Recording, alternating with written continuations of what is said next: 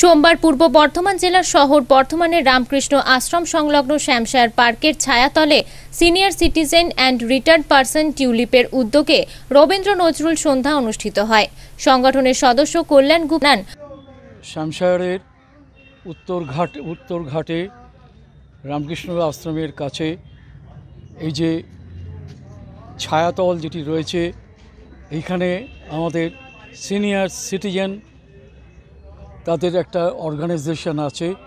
Tulip অর্গানা tulip নয় retired পার্সনদের আমাদের হচ্ছে হ্যাঁ, টিউলিপই এটা। অর্গানাইজেশনের তরফ থেকে আমরা রবীন্দ্র নজরুল সন্ধ্যা উদযাপন করছি। এই অনুষ্ঠান আমরা দীর্ঘদিন ধরেই করে আসছি। এবারও করোনার পরিস্থিতিতে আমরা করতে পারিনি। করোনার পরিস্থিতি কেটে যাওয়ার পর আমরা নতুন উদ্যম নিয়ে এইটাকে আবার শুরু করেছি।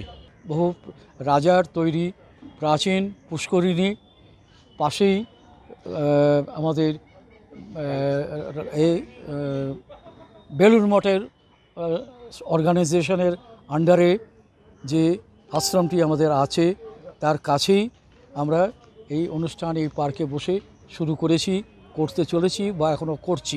আমরা চাইছি বরাবরই, কারণ আমরা যেহেতু রিটায়ার্ড লোক আমরা খোলামেলা পরিবেশেই থাকতে পছন্দ করি।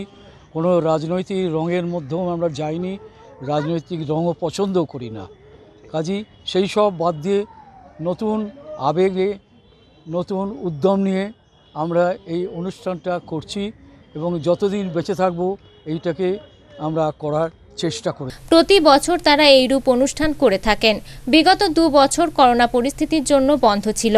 করোনা পরিস্থিতি কমে যাওয়ায় এবছর তারা পুনরায় রবীন্দ্র নজরুল সন্ধ্যা করলেন। এদিন সদস্যরা গান, আবৃত্তি সহ বিভিন্ন বিষয়ে অংশগ্রহণ করেন। বর্ধমান থেকে পিন্টু প্যাটেলের রিপোর্ট, আনন্দ বার্তা।